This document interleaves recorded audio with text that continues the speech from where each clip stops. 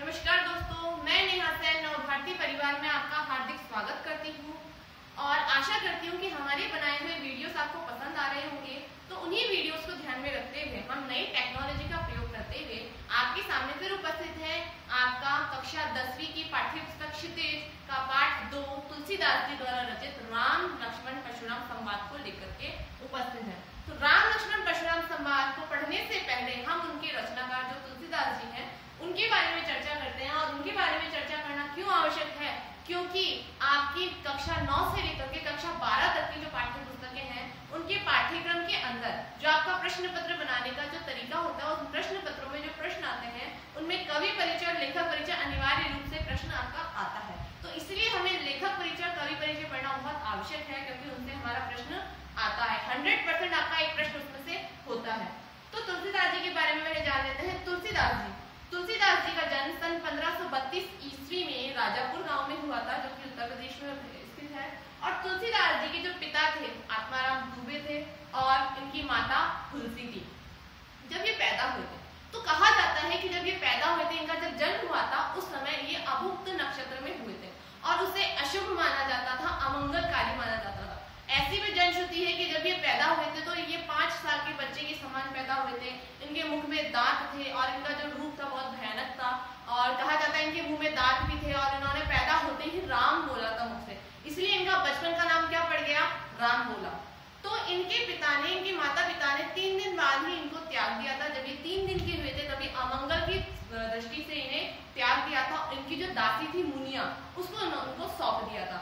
मुनिया ने ही तुलसीदास जी का लालन पालन किया और उनका लालन पालन कर इनको बड़ा किया। उसी समय जब ये थोड़े बड़े हुए तो नरहरि दास जी ने इन्हें अपनाया और अपना शिष्य बनाकर इन्हें अपने साथ ले गए। जब इन्हें शिष्य बनाकर ये अपने साथ ले गए थे तुलसीदास जी को तो नरहरि दास जी ने इन्हें जो राम कथा है, राम लीलाओं के बारे में इन्हें बताया और राम लीलाओं से इनका परिचय करवाया और रामायण जो वाल्मीकि द्वारा रचित है उसका ज्ञान इन्हें करवाया। तो उसी को आधार बना करके तुलसीदास जी ने हमारे भारतीय भक्तों का जो कंठाहार कहा जाता है, किसे? रामचरित्र मानस को। उस रामचरित्र मानस की रचना की, उसका निर्माण किया। ठीक है?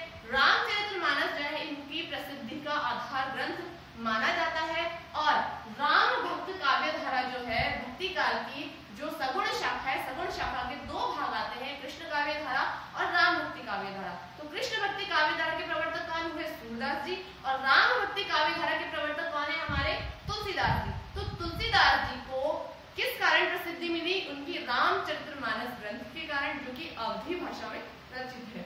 इसके अतिरिक्त तुलसीदास जी की बारह और प्रमुख रचनाएँ मानी जाती है, जिन्हें रामचंद्र शुक्ल जी ने प्रमाणिक मानी है, यानी रामचंद्र शुक्ल जी हमारे हिंदी के बहुत ही अच्छे साहित्यकार माने जाते हैं, आलोचक माने जाते हैं, निबंधकार माने जाते हैं। उन्होंने भी तुलसीदास जी की बारह रचनाओं को महत्वपूर्ण माना है, जिनमें कवितावली, दोहावली रामाज्ञा प्रश्नावली, विनय पत्रिका, गीतावली और रामचरितमानस तो है ही। मतलब जानकी मंगल है, रामलला नहजू है, बहुत सारी रचनाएँ भी थी जिनमें से इन्होंने बारह रचनाओं को प्रमाणित माना।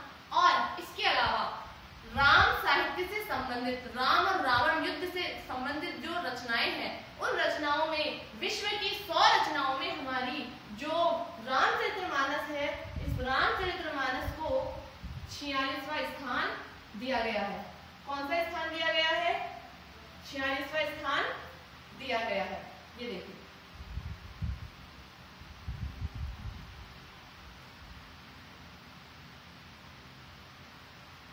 हमारी इस रामचरितमानस को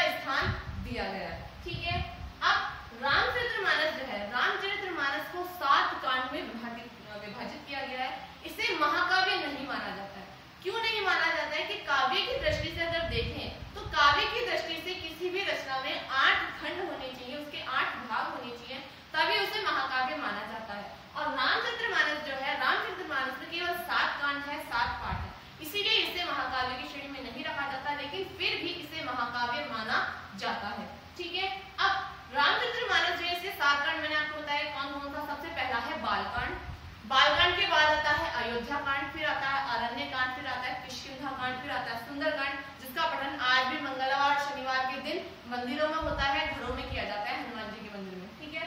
इसके अलावा सुंदरकांड के बाद लंका कांड और लंका कांड के बाद में आता है आपका उत्तरकांड, ठीक है?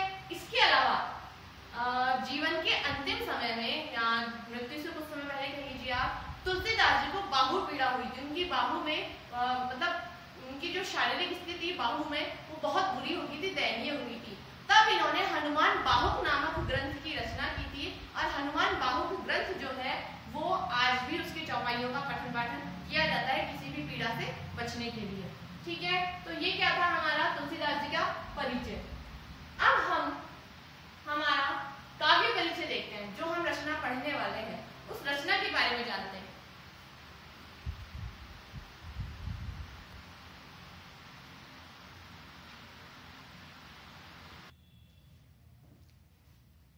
तो हमारी जो जो पद्य काव्य हमारी पाठ्य पुस्तक में सम्मिलित किया गया है, वो क्या है? ये आपको पता है रामचरितमानस से लिया गया है। लेकिन रामचरितमानस का पहला कांड, जो बाल कांड है, उससे इसे लिया गया है। और इस अंश के अंदर क्या हुआ है?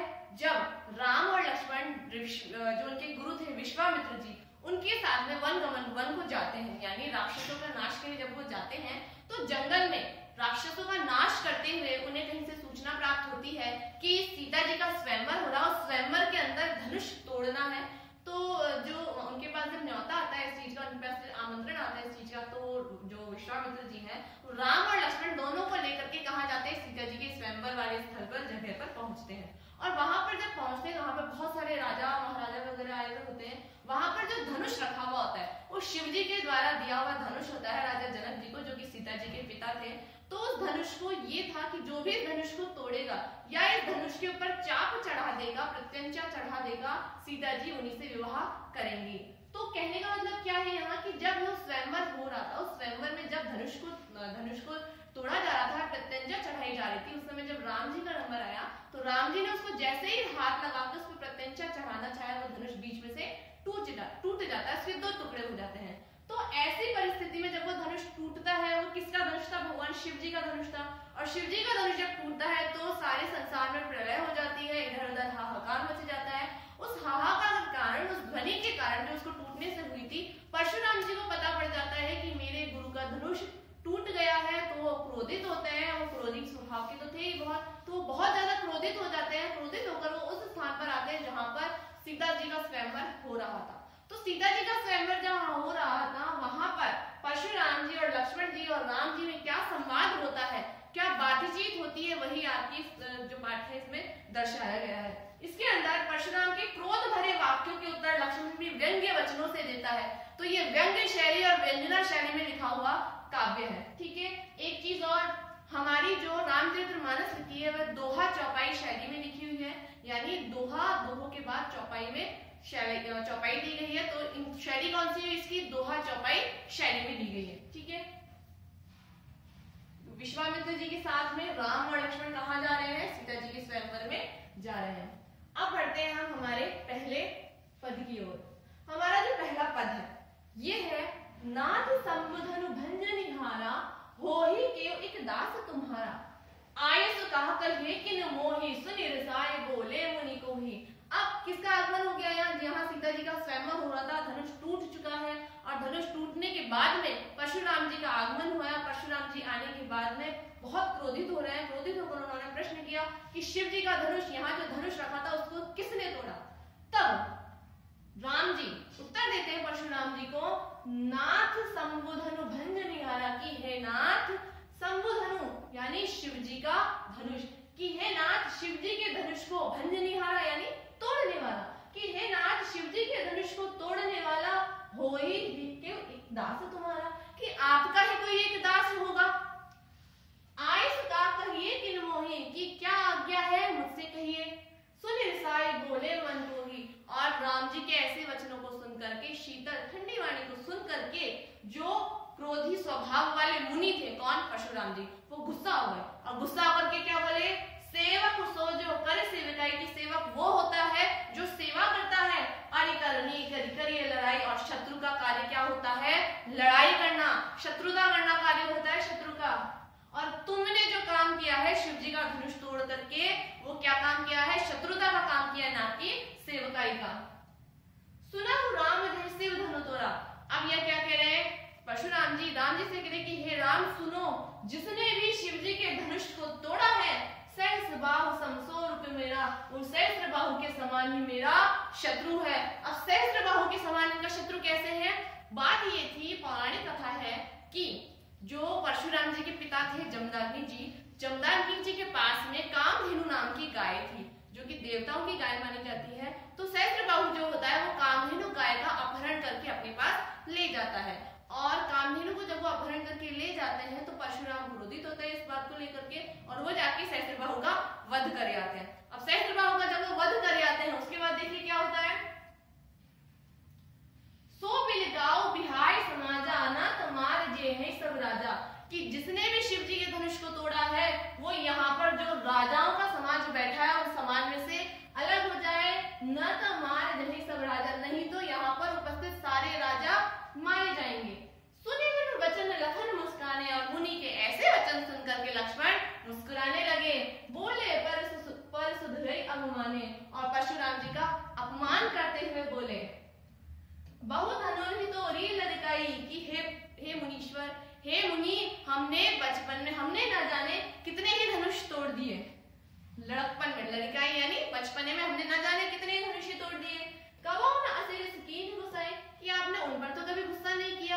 ऐसा क्यों?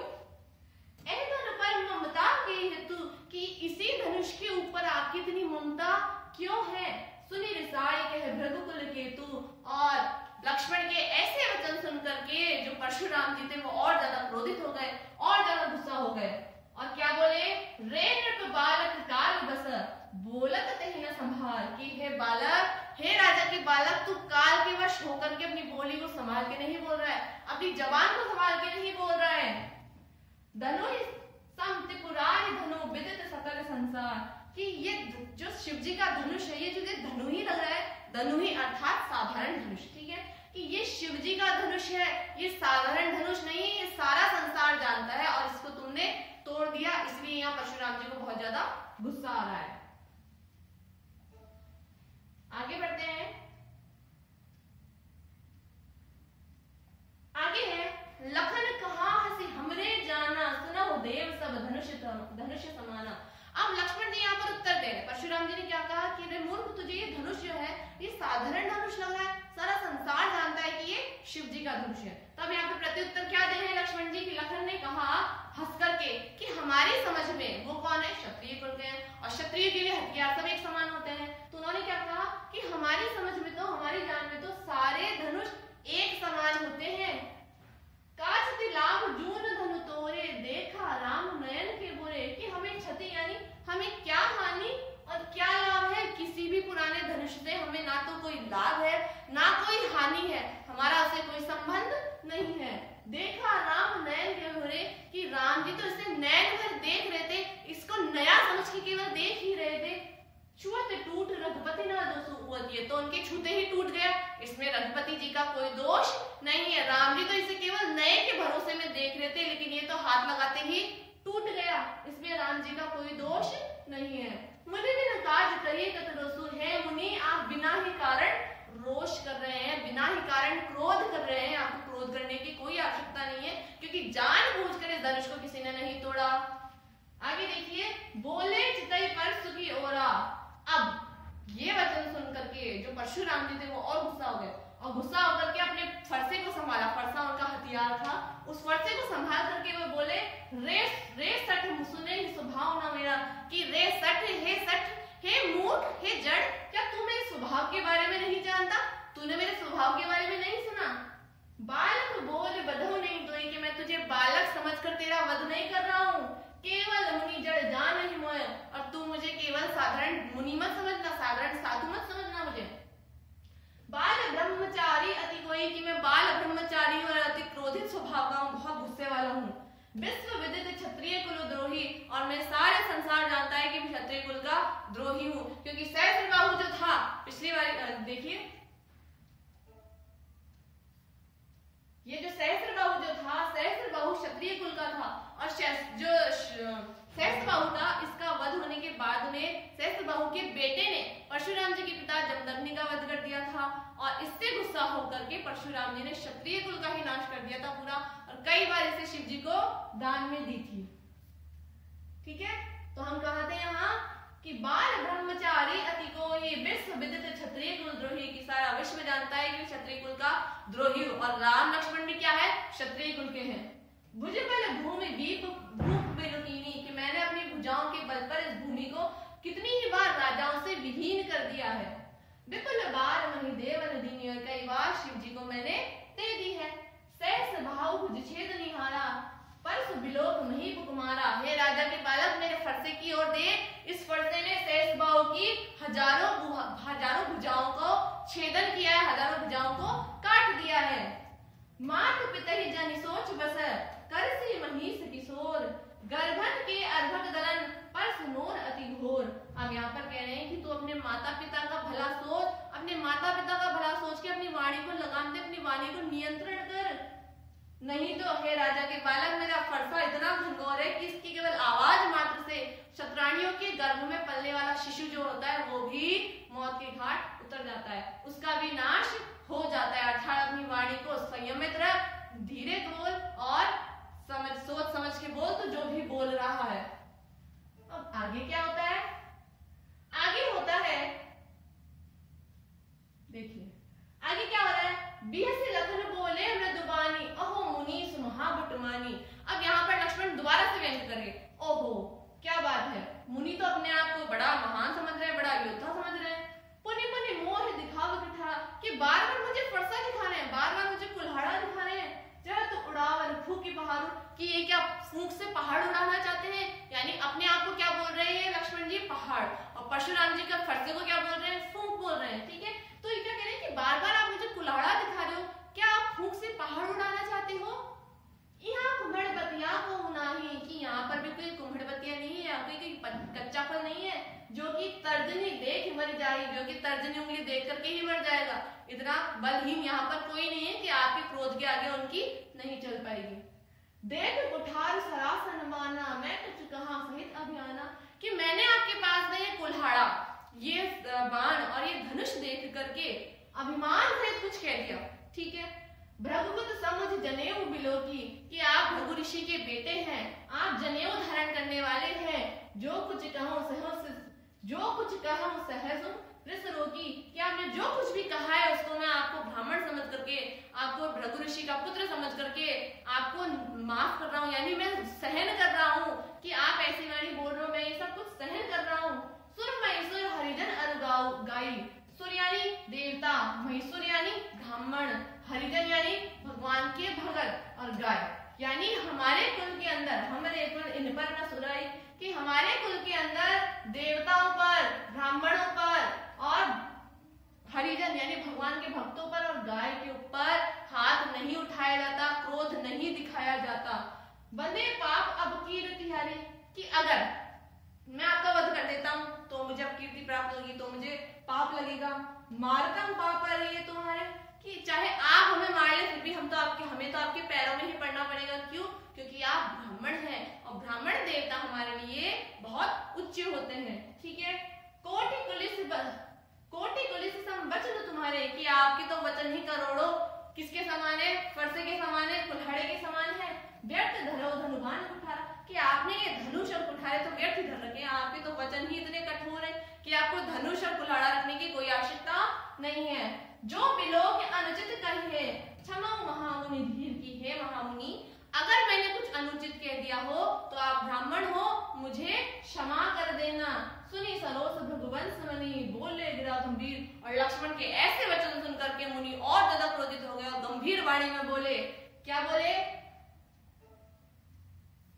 वो बोले,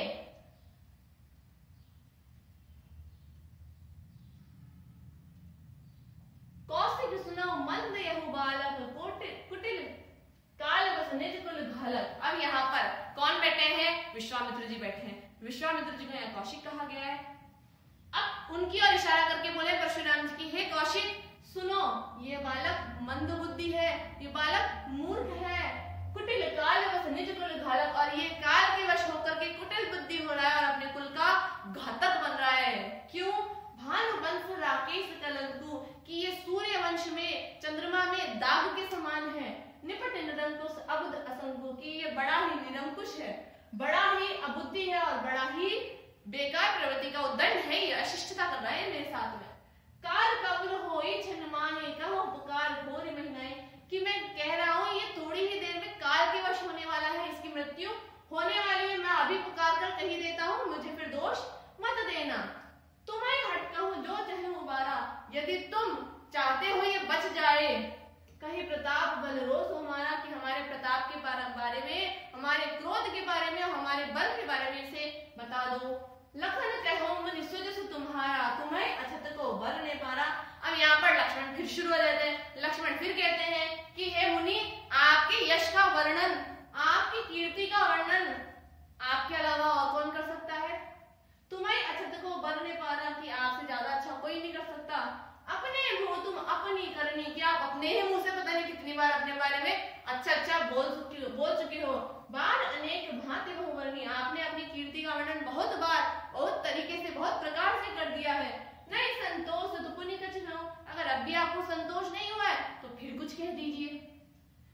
जल रोग, दूसरे दुख सहो आप अपने मन में रोक करके दुख को सहन मत कीजिए। आपके मन में जो भी आ रहा है ना, कह दो। उसको रोको मत। उसको रोकोगे तो आपके मन में क्या होगा? गुस्सा उत्पन्न होगा। तो आपके मन में जो भी आ रहा है, कह दीजिए। वीर व्रते तुम धीर अछोबा गाली देत न पाओ शोभा कि आप क्या है? साधु है। आपको गाली देना शोभा नहीं देता है। आपको तो धैर्य रखना ही शोभा देता है, लेकिन हो क्या रहा है? बिल्कुल उल्टा हो रहा है। परशुराम जी बहुत क्रोधी स्वभाव के थे। ठीक है तो यहाँ पर ये कह रहे हैं कि आपको वीर व्रत धारण नहीं करना चाहिए। आपने तो वीर व्रत धारण कर रखा है। और गाली देते आप शोभा नहीं देते हैं। क्योंकि साधु सन्यासियों की जो कमी होती है, वो गाली देना होती है, वो गाली नहीं देते हैं। ठीक है? सूर समर करने कर है कहीं ना जनाब, आपू, कि शूर, यानी वीर वो होता है, योद्धा वो होता है, जो रणभूमि में अपने शौर्य का प्रदर्शन करता है, ना कि अपनी बड़ाई करता है। विद्यमान प्रतापु, कि जो योद्धा होता है, जो वीर होता है, वो रण में अपने शौर्य का प्रदर्शन करता है, ना कि अपनी बातों से अपना यश का वर्णन करता है। जो अपना यश की कीर्ति का वर्णन करता है अपने मुख से, वो तो कायर होता है और जो शूरवीर होता है, वो अपने बल का प्रदर्शन रणभूमि में करता है। आगे है, तुम तो काल हाक लावा बार बार वो हिला के बुलावा। अब यहाँ पर जो लक्ष्मण जी हैं, वो परशुराम जी से कह रहे हैं कि तुम तो काल को मेरे लिए बार बार हाँक के बुला रहे हो बार बार आवाज़ें दे रही हो। बार बार मोहिला के बुलावा मेरे लिए बार बार उसे पुकार रहे हो। सुनत लखन के वचन कठोरा पर धरे घोरा कि यहाँ पर परशुराम जी जो है, परशुराम जी लक्ष्मण के उत्तर देने पर, लक्ष्मण बार बार जब व्यंग्य मान दे रहा है, व्यंग्य उत्तर दे रहा है तो क्या हो रहा है? लक्ष्मण जी के कठोर वचन जो है, उन कठोर वचनों को सुन करके परशुराम जी ने अपने परसे को सुधारा। अब जने देव दोष मही लोगों की हे लोगों, वहाँ उपस्थित जनों से कह रहे हैं, वहाँ उपस्थित लोगों से कह रहे हैं, कौन परशुराम जी की हे लोगों? अब मुझे दोष मत देना। कटुवाद बालक वध जोगु की ये बालक कटु वचन बोलने के कारण वध करने योग्य हो गया है। अब विलोक बहुत में बाचा, अब यह मर निहार भाषाचा कि मैंने इसको बालक समझकर बहुत छोड़ा, बहुत बचाने का प्रयास किया, लेकिन अब तो ये मरने का पूरा कार्य कर चुका है। ये उद्दंडता कर रहा है, ये अशिष्टता कर रहा है, ये इसकी अशिष्टता बर्दाश्त करने के लिए नहीं है। इसका वध, ये तो इसके वध के योग्य ही है। कौशिक कहा क्षमी अपराधो? कौशिक यानी विश्वामित्र जी कह रहे हैं कि हे साधु महाराज, इनकी गलतियों को क्षमा कीजिए, इनका अपराध क्षमा कीजिए। बाल दोष गुण गण न साधु, कि बालक के गुण और दोष को साधु जन नहीं गिनते हैं। अभी मैंने आपको बताया था कि साधु सन्यासी जो होते हैं, वो किसी के गुण और दोषों को नहीं गिनते हैं। तो साधु जो होता है, वो बालक के दोष और गुण को नहीं गिनता है। हर कुठार में अपरन को ही आगे अपराधी गुरुद्रोही, कि एक तो इसने क्या किया? मेरे गुस्से को बढ़ा दिया, ठीक है? और मैंने क्या धारण कर रखा है? ये कठोर ये कठोर फरसा धारण कर रखा है। इसकी जो वाणी है ना, ये वाणी बहुत बुरी है, बहुत खराब वाणी है इसकी। एक तो ये मेरे से जवाब पे जवाब करे जा रहा है, मेरे को उल्टे सीधे जवाब दे रहा है। फिर ऊपर से गुरुद्रोही हो गया।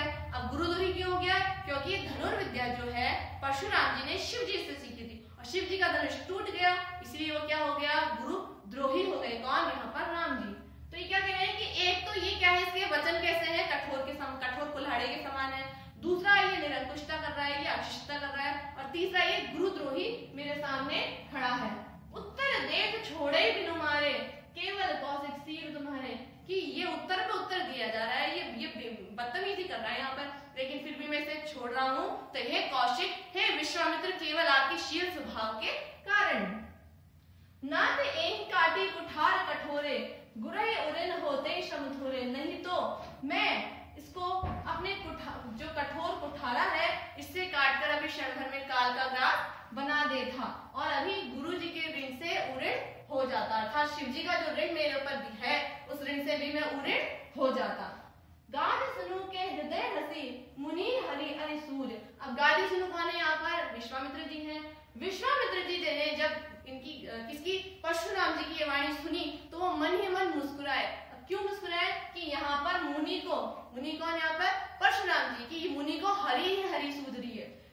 आय में खांड ना उख में अजा बूझ अबूझ। कि ये जो राम और लक्ष्मण यहाँ खड़े हैं, कोई साधारण क्षत्रिय नहीं है, साधारण मनुष्य नहीं है। ये कौन है? स्वयं भगवान के अवतार है, भगवान विष्णु के अवतार है। और ये इन्हें साधारण गन्ने की खांड लग रहे हैं, जबकि है क्या ये? लोहे से बने हुए खांडा, अर्थात तलवार है, जो आसानी से भूलने वाली चीज़ नहीं होती है। कहने का तात्पर्य क्या है यहाँ? यहाँ पर परशुराम जी जब राम और लक्ष्मण का वध करने की बात कर रहे हैं यहाँ पर तो कौशिक जी मन ही मन सोचते हैं कि जिस जैसे, अब तक इन्हें जिन शत्रुओं से सामना इनका हुआ है, वो तो साधारण थे, लेकिन ये स्वयं भगवान के अवतार है, इनका सामना करना किसी के वश की बात नहीं है। इसलिए ये मन ही मन हंस रहे हैं। आगे है कहो लखन मुनि सील तुम्हारा को नहीं दान विदित संसारा मात पितई ऊरिन भय नीके गुरु दिन रहा सोच बड़ जीता। अब यहाँ पर लक्ष्मण जी क्या कह रहे हैं? अब लक्ष्मण जी कह रहे हैं कि, हे मुनि, आपके शील स्वभाव को कौन नहीं जानता? सारा संसार जानता है। माता पिता माता पिता उड़न भय नहीं के कि आप माता के और पिता के ऋण से भली प्रकार उड़न हो चुके हैं। लेकिन आप गुरु के ऋण से भी उड़न होना चाहते हैं? उसी बारे में सोच रहे हैं ना आप? अब यहाँ पर माता के ऋण से और पिता के ऋण से कैसे उड़न हुए? इसके बारे में पौराणिक कथा है। वो पौराणिक कथा क्या है कि एक बार जो जमदग्नि जी थे, जो परशुराम जी के पिता थे, उन्होंने माता को, यानी अपनी पत्नी को लकड़ी लेने के लिए भेजा या ऐसे ईंधन के रूप में भेजा, आप देख लीजिए। तो ईंधन लेने जब वो गई थी तो उनको आते आते बहुत देर हो जाती है। जब वो आती है तो पर जो जमदग्नि जी होते हैं, वो अपने बड़े वाले बेटे, उनके तीन बेटे और बड़े होते हैं परशुराम जी से। तो उन तीनों बेटों को कहते हैं कि आप अपनी माँ का वध कर दो, लेकिन वो तीनों बेटे अपनी माँ का वध नहीं करते। और जब परशुराम जी से कहते हैं तो अपनी माँ का वध वो कर देते हैं, उनकी गर्दन धड़ से अलग कर देते हैं। जब जमदग्नि ऋषि जी के पास में आते हैं तो जमदग्नि ऋषि खुश हो जाते हैं और वो कहते हैं कि आप अपने पितृ ऋण से ऊऋण हुए। और वो कहते हैं कि, मांगो, आप क्या मांगना चाहते हो? तो वो दोबारा यही मांगते हैं कि, आप मेरी माँ को जीवित कर दीजिए और मैंने उनका वध किया है, इस बारे में उन्हें पता नहीं लगना चाहिए। इस प्रकार वो अपने पिताजी के ऋण से उड़ी हुए और माता के ऋण से कैसे उड़ी हुए जब उनके पिता का स्वर्गवास हो जाता है तो उनके पिता की आ, मतलब माता जी के बारे में कहा जाता है कि माता जी परशुराम जी से कहती है उनकी कि आप जाकर के उनका जीव लेकर के आओ। तो परशुराम जी उनका जीव लेकर के आते हैं और उनको भी जीवित कर दिया जाता है। तो इस प्रकार माता और पिता के ऋण से उऋण हो चुके हो आप गुरु के ऋण से भी उऋण होना चाहते हो। अब गुरु का कौन है यहाँ पर शिव जी। सो दिन हमने माथे काढ़ा और वो भी आपने हमारे माथे काढ़ा। दिन चले गए। ब्याज बढ़ बढ़ा कि दिन बीत रहे हैं धीरे धीरे ब्याज बढ़ रहा है। गुरु का जो ऋण है वो धीरे धीरे बढ़ रहा है। अब आनिए वहवरिया बोली कि आप एक काम करो, किसी अच्छे, जो, व्यापार करने वाला है, उसको बुला लीजिए। तुरंत देव मैं थैली खोली, मैं तुरंत अपनी थैली खोल देता हूँ। थैली कौन सी? कि आपका ब्याज चुक जाएगा, इसलिए मैं थैली खोल देता हूँ ताकि आपका ऋण चुक जाए। सुनी कटु वचन में कुठार सुधारा और लक्ष्मण जी के कठोर वचन सुन करके फिर से जो परशुराम जी तो उन्होंने अपना फरसा सुधारा। हाय हाय सब सभा पुकारी और सारी सभा में हाय हाय पुकार हो गई थी। हाय हाय रघुवर पर देखा वही मोही, विप्र विचार बचो नृप दोही। कि रघुवर जो है, वो कुठारा दिखाते हैं और कुठारा दिखा करके जब वो लक्ष्मण को दिखाते हैं तो लक्ष्मण जी कहते हैं कि, हे रघुवर रघुवर कौन यहाँ पर? परशुराम जी, कि बार बार मुझे फरसा दिखा रहे हो आप। आप बार बार मुझे डराने का प्रयास कर रहे हो। मैं आपको ब्राह्मण समझकर छोड़ रहा हूँ। आप ब्राह्मण हो, इसलिए आपको छोड़ रहा हूँ। मिले न कबो सुभट घाड़े की, आपका जो सामना हुआ है ना, अभी तक कोई क्षत्रिय से अच्छे क्षत्रिय से नहीं हुआ द्वित देवता घर के भाड़े कि परिवार इतने अच्छे लगते हैं आप अपने घर में ही शेर बने बने फिरते हैं। आपका किसी वीर योद्धा से अभी सामना नहीं हुआ है। अनुचित कहे सब लोग पुकारा, रघुपति सहने लखन होने वाले कि अनुचित है अनुचित है, लक्ष्मण के वचन सुन करके सभा में जितने भी वहाँ पे लोग उपस्थित थे, वो सभी कहने लगे कि ये अनुचित है अनुचित है। तब रघुपति सहने लखन निवारे तब राम जी ने लक्ष्मण को तिरछे नेत्रों से देखकर शांत होने का इशारा किया। लखन उतर आहुति सरिस रघुवर कोप कृषाणु कि लक्ष्मण के जो उत्तर थे, वो जो रघुवर यानी कौन? परशुराम जी के क्रोध में घी का कार्य कर रहे थे। यानी परशुराम जी का क्रोध क्या हुआ? अग्नि। और उस अग्नि में लक्ष्मण जी के जो कठोर वचन थे, वो घी का कार्य कर रहे थे। उनके क्रोध को और अधिक बढ़ा रहे थे। भड़त देख जल सम वचन, बोले रघुकुल भानु। और लक्ष्मण के ऐसे वचनों को सुनकर के जब परशुराम जी का क्रोध बढ़ रहा था तब राम जी ने उनके बढ़ते हुए क्रोध को देखते हुए उनको शीतल करने के लिए, यानी उसको ठंडा करने के लिए शीतल वचन, जल के समान वचन बोले। किसने? किसने बोले? राम जी ने परशुराम जी के क्रोध को शांत करने के लिए शीतल वाणी में वचन बोले। तो बच्चों, ये था हमारा परशुराम, राम लक्ष्मण परशुराम संवाद। कैसा लगा आपको? कमेंट करके ज़रूर बताइएगा। और वीडियो को लाइक और शेयर करना मत भूलिएगा। फिर मिलेंगे आपसे नए टॉपिक के साथ, नए वीडियो के साथ। तब तक के लिए नमस्कार।